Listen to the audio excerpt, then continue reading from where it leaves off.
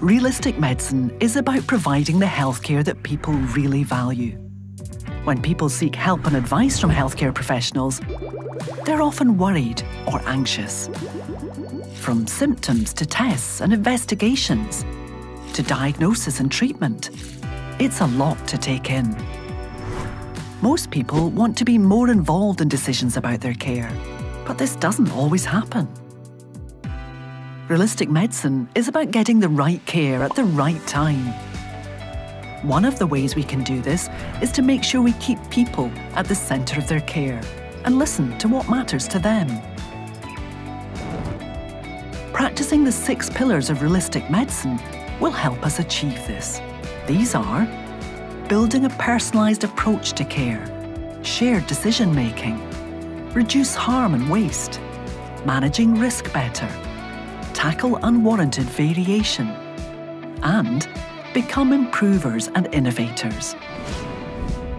To find out more, visit realisticmedicine.scot.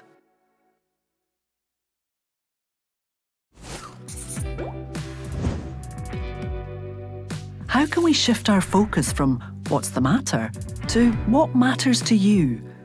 Getting to know people, patients, and their families can help us to understand what really matters so we can do the right thing for each person. Making meaningful connections and building relationships are key to good experiences and better outcomes. Even though we might feel this is challenging, keeping a focus on what really matters improves staff experience too. Understanding a person's values, beliefs, and priorities in life, as well as their strengths and knowledge, is just as important as understanding their diagnosis. The What Matters to You approach builds trust, which in turn creates better experiences and better healthcare outcomes for people. It helps us to understand what people really need, rather than what we think they need. Investing a little time to understand what matters usually results in less work overall. This means we need to be intentional about creating space to listen. If we do not make space to listen and understand what matters, we risk going down a path that is wasteful, adds no value, and potentially even causes harm.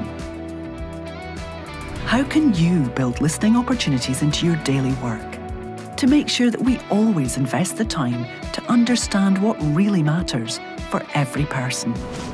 To find out more, visit realisticmedicine.scot.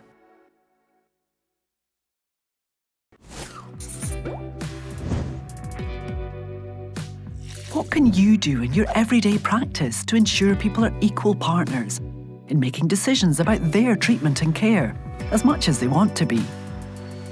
Shared decision making describes an approach to healthcare conversations that recognises there are two experts in the room and supports people to make informed choices about their own care and treatment.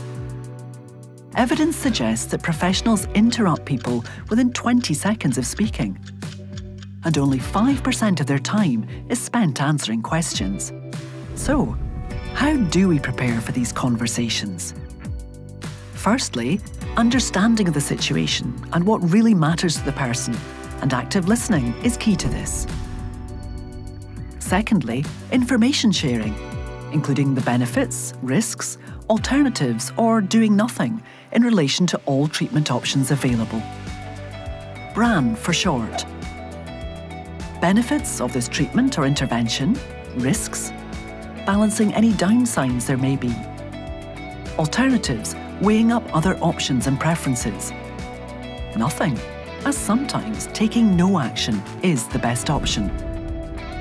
And finally, involved and empowered. Decisions should be made by the person, together with the professional, working in equal partnership. To find out more, visit realisticmedicine.scot.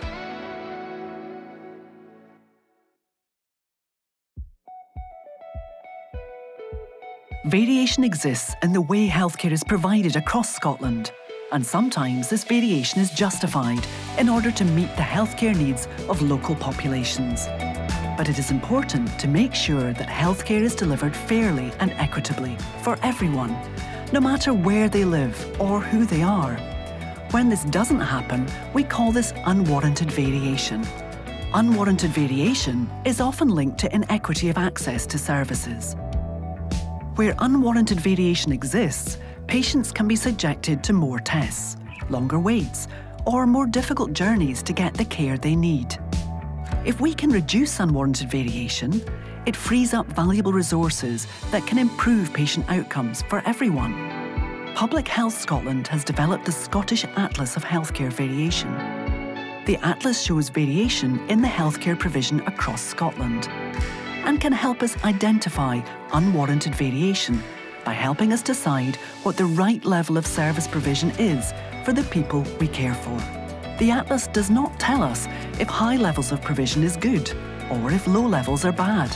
It is simply a tool that aims to help us identify the over-provision or under-provision of healthcare services. There are also sources of local data that can help us understand our system in more detail. For example, Care Opinion provides patient stories, while complaints tell us what isn't working. We also need to look at the data from the services we provide. Analysing all of these information sources together helps us focus our improvement work where it will have the most impact. Removing unwarranted variation helps us to focus our efforts and helps to make sure that we're doing what we need to reduce waste and potential harm and improve the services we deliver. This will also help people get the best outcomes possible, no matter who they are or where they live. Keeping our care consistent makes patient journeys easier, fairer, and can help save our NHS resources. To find out more, visit realisticmedicine.scot.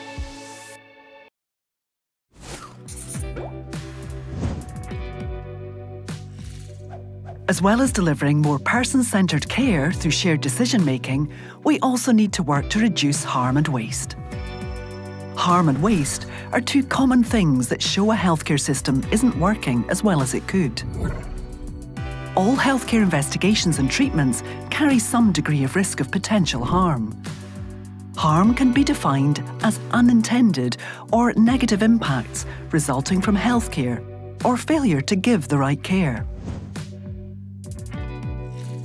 Waste in healthcare can be defined as not using our resources as effectively as we can.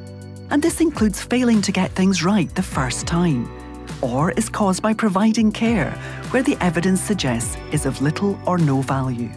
Healthcare is a precious resource and includes things like medication, equipment and buildings, as well as healthcare professionals' skills and experience.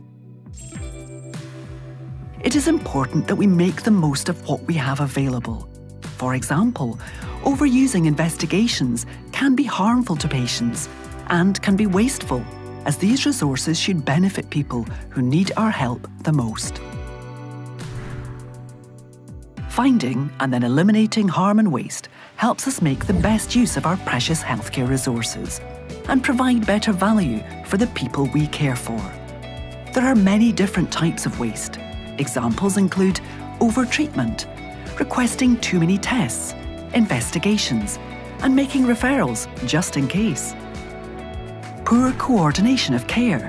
When this is coordinated around patients' needs, we can often reduce unnecessary delays or poor utilisation of people and their skills. Can you think of any waste or potential harm where you work? To find out more, visit realisticmedicine.scot.